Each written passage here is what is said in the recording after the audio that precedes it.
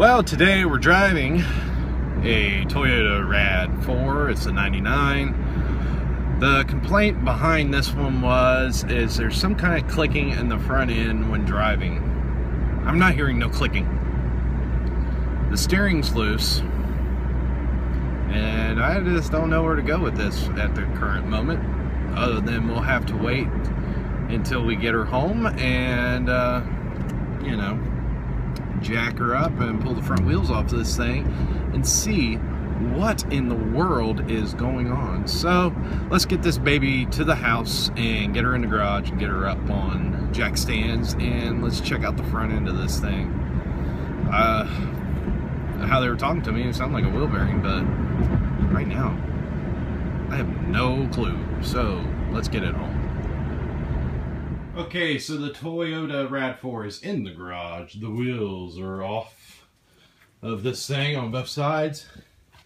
Everything looks to be fine on this side from what I can see. Yeah, yeah, yeah. But if we come over here to this side, up oh, there's the problem. That's the clicking issue that they're going to be hearing. And uh, we're going to need a new CV axle hopefully the parts store can get me one in quick. So let's make some calls first before we start tearing this thing apart. Okay, so looking through all this, we won't have the part till tomorrow, but we're going to start with taking off the tie rod end just by taking off the nut and uh, pulling out the clip. And then we'll use a hammer and we'll, we'll tap right there and pop that up. and then we'll go for our lower ball joint down there. And then we'll get some taps to that, pry that up. We'll take off our front nut right here and pull that out. And then we should be able to get back there with the pry bar and pop her out. And then next thing you know, the CV axle will be out. So I'm going to get onto that right now.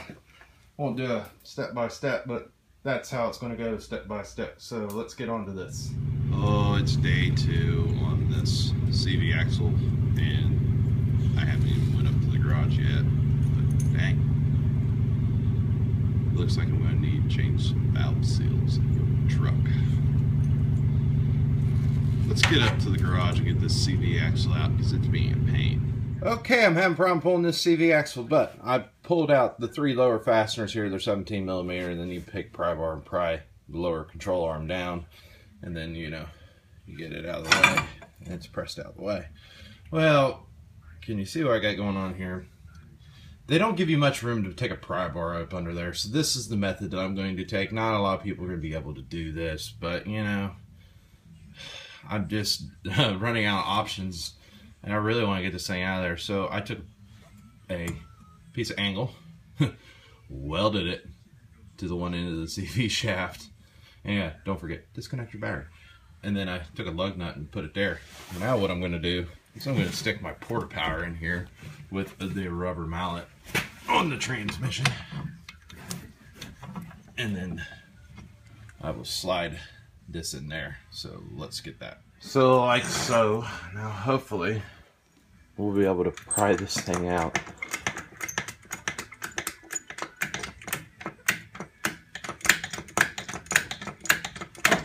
Nope, it's going to slip off. A little bit better mounting position for it. I hate doing stuff like this because a lot of people don't really have the resources to do it this way. But that clip is just being a pain. Well, I got tension on it, but it's not prying out still. Huh.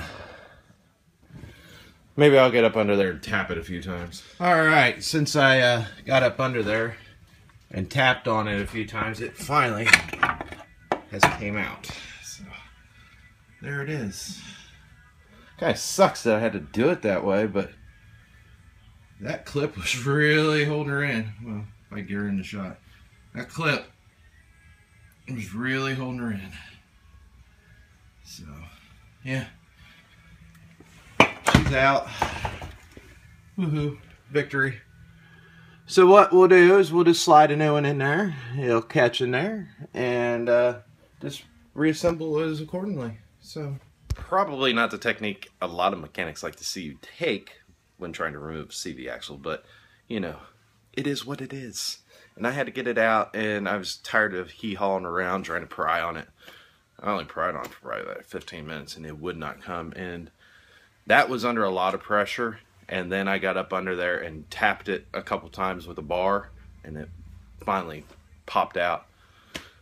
So, you know, you got to do what you got to do to get things taken apart. And I didn't hurt anything, so whatever. You know, if I had a slide hammer, I could have got up in there and popped it out with a slide hammer, but I don't have a slide hammer, and that's probably something I'm going to look at investing in next, because every so often I see that it's could be useful for me. So, you know, you just got to keep up upgrading tools and getting new ones. So, that's how I got this one out.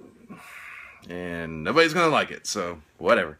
But the video is what it is, and uh, comment, rate, subscribe. Hit that like button. It's down here, down here, okay? And the subscribe button's down here, so, you know. Catch you on the flip side later on.